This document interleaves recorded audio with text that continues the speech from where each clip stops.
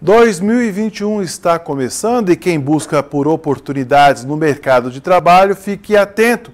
O Sebrae abriu inscrições para o processo seletivo com vagas para diversas cidades, inclusive Três Lagoas.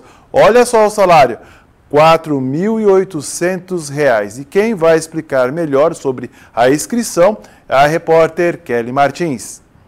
Os interessados no processo seletivo devem fazer a inscrição no site fapetec.org. Lá estão publicados os editais. São dois processos seletivos em abertos para preencher vagas em Campo Grande e em mais quatro cidades do interior.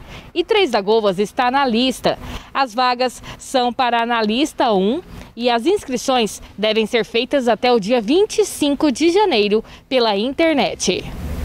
De acordo com o Sebrae, em Três Lagoas são duas vagas para gestão e relacionamento com o cliente.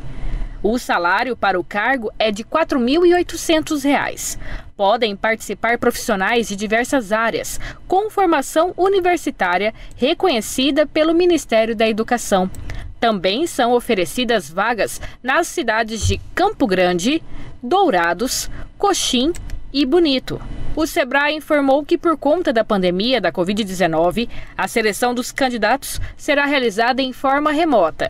O processo será em cinco etapas: análise curricular, avaliação de conhecimentos, uma prova objetiva, avaliação prática e análise documental.